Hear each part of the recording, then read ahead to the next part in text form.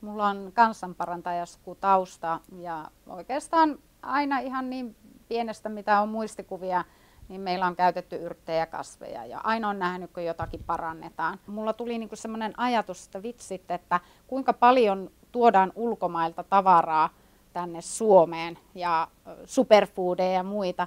Ja meidän omat raaka-aineet on tosi vähän käytettyjä.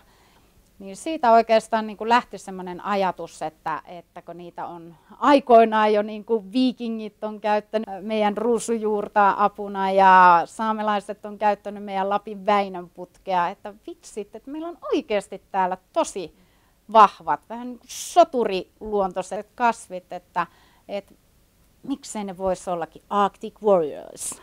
Ollaan saatu tukea maaseutuohjelmalta. Se oikeastaan auttoi meidät lähteen kunnolla starttiin.